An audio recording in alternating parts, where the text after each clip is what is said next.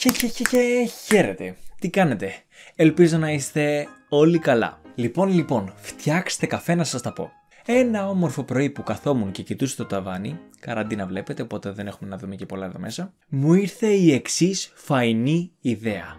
Πώς θα ήταν άραγε οι τίτλοι των ταινιών της Disney αν έλεγαν την αλήθεια, χωρίς να υποκρύπτουν την ομή και σκληρή πραγματικότητα; Πώς θα ήταν οι τίτλοι αν δεν υπήρχαν κόμπλεξ και στερεότυπα. Και κυρίως πώς θα ήταν οι τίτλοι αν οι δημιουργοί των ταινιών είχαν χιούμορ. Ή αυτοί που διαλέγουν τους τίτλους τέλος πάντων, όλοι στο ίδιο τσουβάλι μπαίνουν. Επίσης, προς πληροφόρησή σας, η κάθε εικόνα που θα δείτε στο βίντεο μου πήρε περίπου από μισή έως μια μισή ώρα. Δεν είναι τέλειες, αλλά προσπάθησα για το καλύτερο. Οπότε σε κάθε περίπτωση θα το εκτιμούσα πάρα πολύ εάν κάνετε μια εγγραφή και πατούσατε το καμπανάκι. Αν πάλι το έχετε κάνει ήδη θα με βοηθούσατε πάρα πολύ εάν στέλνατε το βίντεο σε έναν φίλο σας. Πολλά είπα, ξεκινάμε. Λοιπόν, έστω ότι έχουμε την Pocahontas, η οποία να σας θυμίσω ότι ήταν να παντρευτεί τον Κόκομ, αλλά τελικά προτίμησε τον Τζον Σμιθ, τον οποίο αργότερα παράτησε για τον Τζον Ρόλφ. Θα μου πείτε δεν είναι Γιάννης, είναι Γιαννάκης. Ή μάλλον δεν είναι Τζον, είναι Τζονάκης. Σε κάθε περίπτωση όμως, ο τίτλος της ταινίας δεν θα μπορούσε κάλλιστα να είναι «Η αναποφάσιστη». Τι λέτε, δεν αποδίδει λίγο καλύτερα το νόημα της ιστορίας.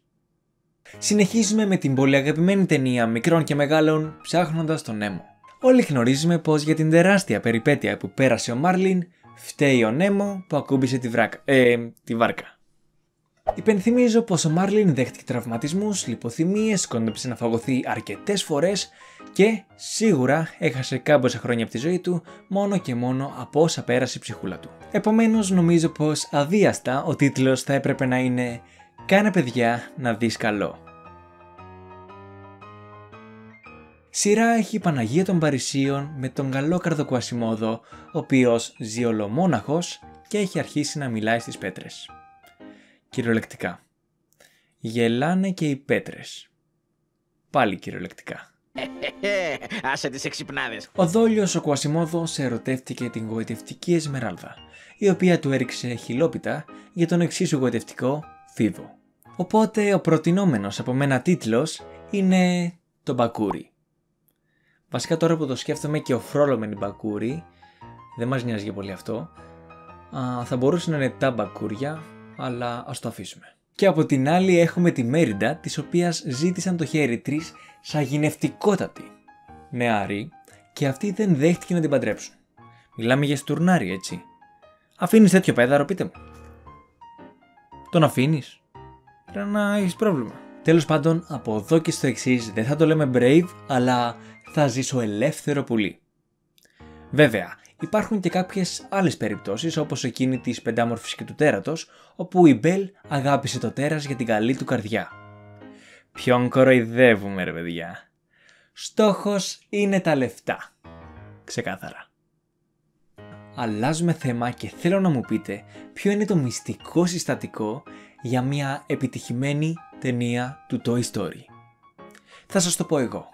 Είναι μια εξαφάνιση. Οπότε, έχουμε και λέμε. Το Toy Story 1 γίνεται χάσαμε τον Buzz.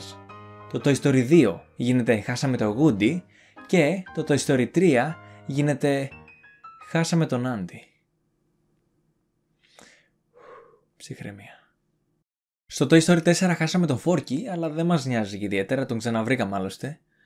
Βασικά, και τον Buzz ξαναβρήκαμε. Και τον Woody. Αλλά όχι τον Andy.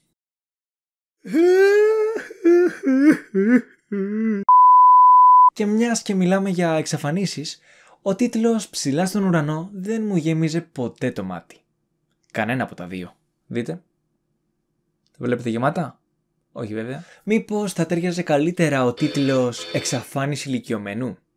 Μπορείτε να βοηθήσετε. Περνάμε στη λιγότερο αγαπημένη μου ταινία της Disney, η οποία είναι «Η Αλίκη στη χώρα των θαυμάτων». Πάντα μου φαινόταν τόσο μπερδεμένη αυτή η ταινία και ξέρετε κάτι, έχω την απορία γιατί οι δημιουργοί ονόμασαν αυτή τη χώρα «Χώρα των θαυμάτων». Προτιμώ τον τίτλο «Η τρελή στη χώρα των τρελών». Νομίζω έτσι αντιπροσωπεύει λίγο το όλο κλίμα που επικρατεί στην ταινία, δεν νομίζετε; Δεν είμαι τρελός. Τώρα άσχετο, αλλά μήπως θυμάται κανείς πώς λεγόταν εκείνη η παλιά ελληνική ταινία που, που ήταν μια νεαρή κοπέλα και είχε μπει κρυφά σε ένα πλοίο παρόλο που της απαγορευόταν. Δεν, δεν μπορώ να θυμηθώ το όνομά της. Αχ, πώς την έλεγαν, μωρέ. Α, ναι, η, η Βαϊάννα στο ναυτικό. Βασικά μισό λεπτό. Τώρα είναι καλύτερα. Παραμένουμε στο στοιχείο της θάλασσας με τη μικρή γοργόνα. Η φίλη μας η Άριελ θα έκανε τα πάντα για να είναι μαζί με τον ψευτογόη της ταιριάς, τον Έρικ. Εδώ για να καταλάβετε, η Άριελ έδωσε τη φωνή της στην Ούρσουλα για να είναι με τον ψευτογόη. Ελπίζω να μην έβρισα κανέναν στην νοηματική, αλίμονο. Εν πάση περιπτώσει όμως, όπως λέει και ο λαός, όποιος δεν έχει μυαλό, έχει πόδια. Νομίζω ταιριάζει άψογα αυτό στην Άριελ, δεν ξέρω, τι χαρακτηρίζει ρε παιδιά. Πάμε παρακάτω. Μία άλλη κοπέλα που άλλαξε για χάρη κάποιου άλλου είναι η Μουλάν. Βέβαια για τελείως διαφορετικά κίνητρα και μπράβο της εδώ που τα λέμε. Όχι, μπράβο της. Της το δίνω, μπράβο της γιατί το έκανε και τον πατέρα της. Ο πατέρας είναι. Εκεί πάνω. Φαίνεται στην κάμερα. Τόσο ψηλά. Πιο πάνω. Γιατί συνεχίζετε να βλέπετε αυτό το βίντεο δεν ξέρω. Ωραίο. Πώς νιώθετε τώρα που σας τρώω το χρόνο; Και περνάνε τα δευτερόλεπτα, πιάνετε και το χέρι μου εκεί πάνω. Εντάξει, φτάνει. Πάμε. Ο τίτλος που σκέφτηκα για τη Μουλάν είναι ο εξής. Άλλαξε ο Μανολιός και έβαλε τα ρούχα του αλλιώς. Αυτό σκέφτηκα, αυτό έβαλα. Τι να κάνω ρε παιδιά; Τώρα, όσοι έχετε δει την ταινία Το Μαύρο Καζάνι, τα συλληπιτήριά μου. Τραυματική εμπειρία σας νιώθω, πιστέψτε με. Όσοι πάλι είστε τυχεροί και σας έχει ξεφύγει, μην μπείτε στον κόπο να τη δείτε, γιατί ο τίτλος «Thriller για παιδιά» που ναι μεν επάξια κερδίζει, είναι λίγος. Δυστυχώς θα κρατήσουμε αυτή την ατμόσφαιρα στο βίντεο, καθώς οι επόμενες δύο ταινίες που ακολουθούν έχουν λίγο μακάβριους τίτλους. Λοιπόν, στο «Ο αδερφός μου ο Αρκούδος» που ακούγεται τόσο ωραίο και χαριτωμένο, γιατί είναι και αδερφός και αρκούδος. Πόσο γλυκό ρε παιδιά. Και συμφωνώ πως είναι πολύ ωραίος ο τίτλος «Ο αδερφός μου ο Αρκούδος», αλλά επειδή εδώ θα βάλουμε ρεαλιστικούς τίτλους, με συγχωρείτε πολύ που θα σας το κάνω αυτό, αλλά νομίζω πως θα ταιριάζει καλύτερα ένα «Σου σκότωσα τη μάνα». Η Ρίστο εν παρόδο, αν δεν έχεις δει αυτή την ταινία άρα, να πας να τη δεις γρήγορα. Τώρα με την καραντίνα ειδικά δεν έχεις δικαιολογία, δεν υπάρχει δικαιολογία. Σίγουρα θα θυμάστε όλοι τη στρίγκλα που δεν έγινε αρνάκι. Μιλάω φυσικά για την Γκρουέλα Ντεβίλ, την παιδική σας φίλη. Η εν λόγω κυρία ήθελε να φτιάξει μια γούνα από 99 κουτάβια δαλματίας. Η τρέλα συνήθως πάει στα βουνά, αλλά υπάρχουν αρκετές περιπτώσεις και στις πόλεις. Αρκετά είπα. Στα 101 σκυλιά της Δαλματίας δίνω τον τίτλο «Με θέλει μόνο για το κορμί μου». Τραγικό. Αρκετά ψυχοπλακωθήκαμε, πάμε να κλείσουμε λίγο πιο ευχάριστα με δύο ταινίες της Pixar. Η πρώτη είναι τα αυτοκίνητα. Ο τίτλος «Αυτοκίνητα» είναι σίγουρα πλήρως κατατοπιστικός. Μιλάμε για ένα κόσμο γεμάτο αυτοκίνητα. Σωστά; Αλλά τι θα λέγατε για κάτι εναλλακτικό, ας πούμε... Α, η βλάχη είναι φίλη μας. Ε; Και για τέλος η ταινία Ρατατούι. Στα ελληνικά για κάποιον ανεξήγητο λόγο μεταφράστηκε ο Ρατατούι, το οποίο δεν βγάζει κανένα απολύτως νόημα, αλλά το προσπερνάμε αυτό. Δεν ξέρω για εσά, αλλά εμένα πάντα με ενοχλούσε ο τίτλος του Ρατατούι. Τι πάει να πει Ρατατούι, ρε παιδιά; Ο σωστός τίτλος είναι Μπριάμ.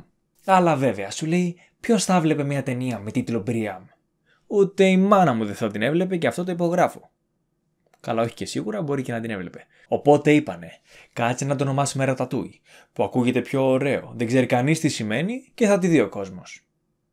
Ε, θα πουλήσει. Ε, ρε, δούλεμα και κουτόχορτο που τρώμε. Τέλος πάντων, αυτό ήταν το βίντεο και ελπίζω να σας άρεσε. Γράψτε μου κάτω στα σχόλια ποιος αληθινός τίτλος ήταν ο αγαπημένος σας. Αν θέλετε να με στηρίξετε μπορείτε να κάνετε εγγραφή στο κανάλι μου, να πατήσετε το καμπανάκι για να λαμβάνετε όλες τις ειδοποιήσεις και φυσικά να με κάνετε follow στο Instagram. Τα τα τα τα λέμε. Φτσιου. Disney Fan GR. Γιατί είναι ωραίο να μένεις παιδί. Επ, έμεινες πάλι μέχρι το τέλος, ε.